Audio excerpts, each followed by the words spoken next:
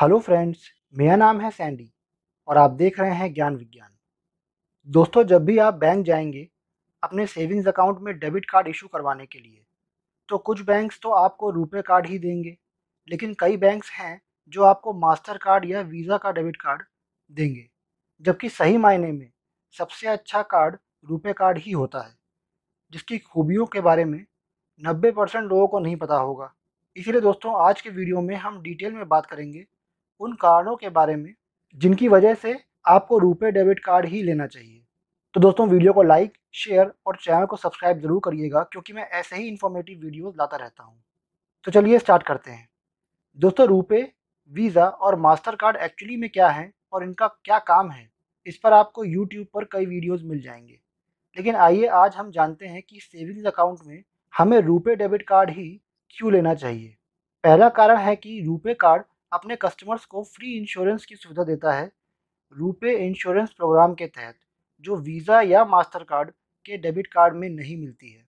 पहले रुपे कार्ड में इंश्योरेंस हर रुपे कार्ड पर मिलता था, लेकिन अब सिर्फ़ रुपे पी कार्ड और रुपे प्लेटिनम कार्ड पर ही मिलता है। रुपे इंश्योरेंस प्रोग्राम के तहत इंश्योरेंस क्लेम करने का क्या तरीका है और इसमें कितना रुपए का क्लेम मिलता है, इस टॉपिक पर हम किसी और वीडियो में बात करेंगे। अभी हम चलते हैं अपने दूसरे कारण पर। दूसरा कारण है कि जब आप वीज़ा मास्टर कार्ड या रुपए के डेबिट कार्ड से पेमेंट करते हैं तो आपको लगभग हर ट्रांजैक्शन में एक छोटा सा अमाउंट ट्रांजैक्शन चार्ज के रूप में देना पड़ता है, जो लगभग ट्रांजैक्शन अमाउंट के एक परसेंट के करीब होता है।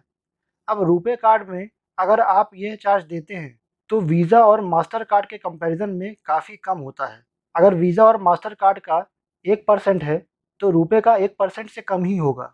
साथ ही चार्ज इंडिया में ही रहेगा, क्योंकि ये इंडियन मेड कार्ड है, जिसका हेडक्वार्टर इंडिया में है। इसीलिए ये जो पैसा हमने दिया है, ये इंडिया में ही रहेगा। लेकिन वहीं वीज़ा या मास्टर कार्ड जो भी ट्रांजैक्शन चार्ज कमाती हैं, वो उसको विदेश अपने हेडक्वार्टर भेज देती हैं, क्योंकि उनका हेडक्वार्टर इंडिया में नहीं है और ये इंडिया की कंपनी भी नहीं है, विदेशी कंपनी है। तो ज़ाहिर सी बात है, हमारी इकोनॉमी के लिए भी ख़राब है। अब दोस्तों, ये जो एक परसेंट का चार्ज मैंने आपको बताया ये कहने के लिए तो बहुत कम अमाउंट होता है और इससे ज़्यादा फ़र्क नहीं पड़ेगा। लेकिन जैसा कि आप जानते हैं कि वीज़ा मास्टर कार्ड या रुपए कार्ड के डेबिट कार्ड्स बहुत ज़्यादा इशू हो चुके हैं। तो सही मायने में देखा जाए तो इस वक्त भारत में जितने भी लोग अकाउंट होल्डर हैं सेविंग्स अकाउंट जिनका खुला हुआ है तो उनके पास डेबिट कार्ड होंगे। तो इन्हीं तीन वेरिएंट्स में से किसी एक के होंगे।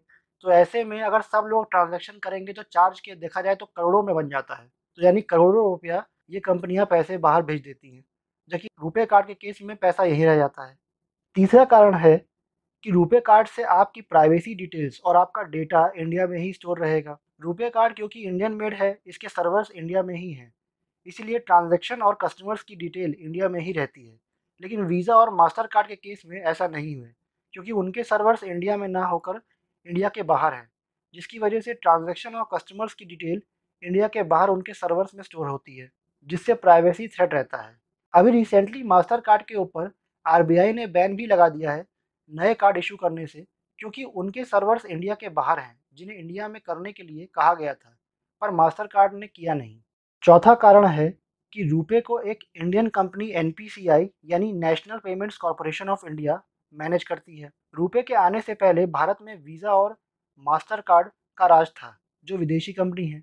इसलिए आरबीआई और इंडियन बैंक एसोसिएशन ने मिलकर एनपीसीआई की स्थापना की थी, क्योंकि ये प्योरली इंडियन है, इसीलिए सरकारी स्कीम्स जैसे जनधन योजना, मुद्रा योजना या किसान क्रेडिट कार्ड में भी जो बैंक से डेबिट कार्ड मिलता है, वो रुपए का ही मिलता है वीज़ा या मास्टर कार्ड का नहीं मिलता है, इसलिए आप इस पर आराम से भरोसा भी कर सकते हैं।